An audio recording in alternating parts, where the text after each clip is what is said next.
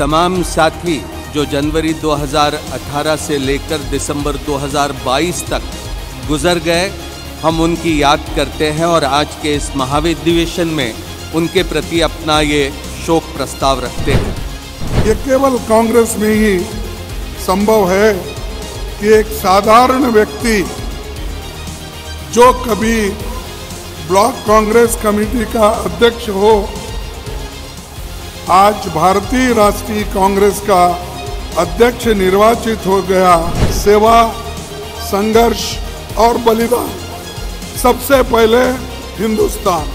हम भारत की सुरक्षा को लेकर एक हैं। हम भारत की सेनाओं के साथ खड़े हैं।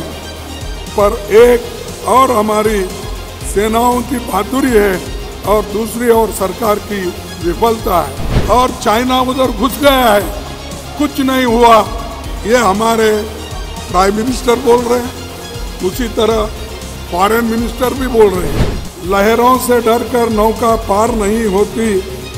कोशिश करने वालों की हार नहीं होती। But what gratifies me most is that my innings could conclude with the Bharat Joro Yatra. The Yatra has come as a turning point. It has proved that the people of India overwhelmingly want harmony, tolerance, and equality. Friends, this is a particularly challenging time for the Congress and for the country as a whole. Prime Minister Modi and the BJP RSS regime has relentlessly captured and subverted every single institution. My experience, as well as the rich history of the Congress, tells me that victory will be ours. To achieve it, to achieve it under Khargeji's leadership, we must tackle the regime with boldness and vigor. ये ऐसे समय में महाधिवेशन हो रहा है, जब हमारे पड़ोसी देश, देशों के साथ हमारे संबंध ठीक नहीं है। नेहरू जी, इंदिरा जी के रास्ते से भटक गई है सरकार। उस समय में महाधिवेशन हो रहा है। और हमारे लिए बहुत सौभाग्य की बात है, ये वीर नारायण सिंह जी की धरती ये गुंडाधूर की धरती, ये माता कौशल्या और सबरी माता की धरती, और इसमें पूरे तमाम देश भर के अतिथियों का स्वागत करने का मुझे अवसर मिला है। तेरी फाइलों में गाँव का मौसम गुलाबी है। ये आंकड़े हैं, झूठे, ये दावे किताबी हैं। यही असलियत मोदी सरकार की है। और आज वक्त आ गया एक नई सोच का, एक नई आशा का, एक नई उम्मीद का, जो भारत जोड़ों से जग रही है। It is the Congress Party in 1991 which ushered in an open, competitive, and liberal economy.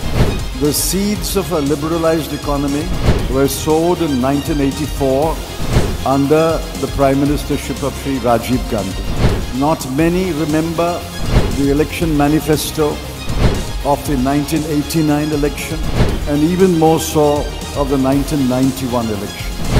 The seeds of an open, competitive, and liberal economy were sowed in those two manifestos.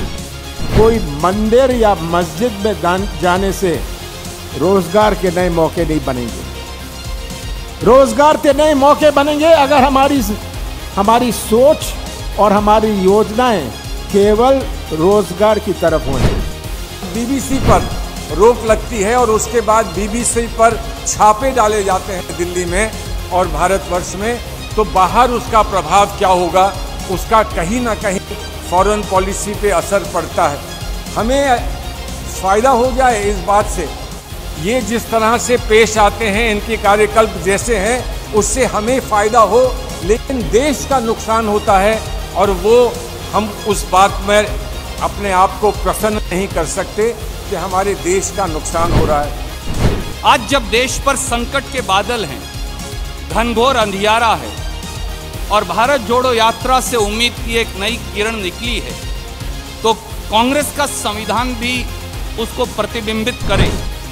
वैसे राहुल जी आपकी जो दाढ़ी है ना ये करोड़ों लोगों के संघर्ष की दास्तान इस दाढ़ी में दिखाई देती है, जो आपसे मिले थे भारत जोड़ो यात्रा के दौरान। इस दाढ़ी को जब देखते हैं तो पिछले नौ साल का सफ़र इस देश के नौजवान, बेरोजगार नौजवान, इस देश के जूझते हुए व्यापारी, इस देश का मीडिया, हम सब का सफ़र दिखता है इस दाढ़ी में। हम देख रहे थे आप कैसे करोड़ों लोगों से मिलते थे, उनका दर्द सुनते थे, उनका दुख बांटते थे। बीएसएनएल के बारे में क्या कहा गया? बीएसएनएल के बारे में कहा गया, बीएसएनएल का मतलब होता है भाई साहब नहीं लगेगा। अरे भाई साहब नहीं लगेगा? तो आप मुझे बताइए कि जियो धन धनाधन कैसे करेगा? यह सवाल आज इस देश के सामने खड़ा है। जब देश में नहीं होगा एयर इंडिया तो आप बताइए, क्या करेंगे ज्योतिरादित्य सिंधिया? इस देश की जो भी प्रमुख पंद्रह पार्टियाँ हैं, वो एक साथ एक साथ मिलकर उच्चतम न्यायालय में याचिका करेंगी कि अगर आप बराबरी का उपयोग या जो बराबरी का व्यवहार नहीं करते हैं इस एजेंसीज के विषय में तो वो हमारे संवैधानिक मूल ढांचे का उल्लंघन है, बेसिक स्ट्रक्चर का उल्लंघन है। लेकिन ये कांग्रेस नहीं, सभी पार्टी को कांग्रेस के नेतृत्व में एक साथ मिलकर याचिका करनी चाहिए।